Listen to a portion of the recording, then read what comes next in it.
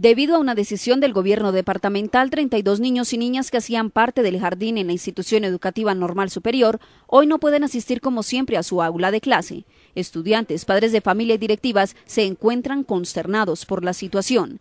Muestra de ello fue la marcha realizada como un llamado al respeto por el derecho a la educación. Estamos muy consternados con la decisión del gobernador de cerrar el programa, sabiendo pues que ya había iniciado, que llevaba más de un año eh, trabajando con los niños y de un momento a otro la decisión de Secretaría de Educación Departamental fue terminarlo y sin ninguna explicación. Se quedan en la calle en este momento. Él está negando el derecho a la educación porque en el programa Cero a Siempre habla de la educación en la primera infancia y la normal tiene la resolución de aprobación del nivel preescolar, grado jardín, o sea que él está, no hay un motivo, no hay una razón justificable para la decisión que tomaron.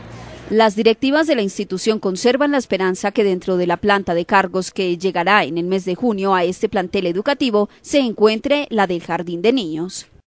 Dentro de las nuevas políticas de la administración departamental está suprimir algunas plazas en diferentes instituciones. Entonces hubo la necesidad de que estos estudiantes se quedaran en casa hasta que el departamento nos diga definitivamente no hay plaza. Guardamos todavía la esperanza que a partir de ahorita de junio, que el departamento nos entrega pues la nueva planta de cargos de la institución, aparezca nuevamente la plaza de jardín. Si no es así, no tenemos plaza de jardín. La pérdida al eliminar esta plaza es considerable, ya que también se pierde la inversión de los padres de familia en los uniformes, el restaurante y el transporte, además de los útiles escolares. Es por ello que los padres de familia continuarán luchando para que no les sea negado a sus hijos el derecho a estudiar como lo venían haciendo desde hace un año en esta institución educativa. La decisión que también tomamos nosotros fue de entablar una tutela que en este momento pues está elaborando para enviarla y recogiendo la información. Hemos estado eh, en constantes reuniones con la Oficina de Cobertura Educativa y Secretaría de Educación Departamental.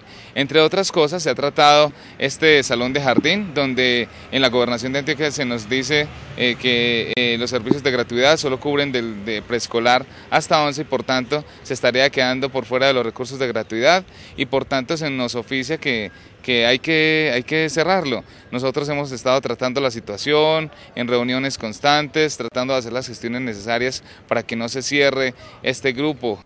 Además del daño causado a los niños y a sus familias, también existe otra plaza que tampoco se ha definido y que atiende a la población con problemas auditivos, programa que venía funcionando desde hace tres años hasta hoy, pues a raíz de la misma situación que viven los niños del nivel jardín, las personas con estas necesidades especiales de aprendizaje tampoco pueden asistir a clases.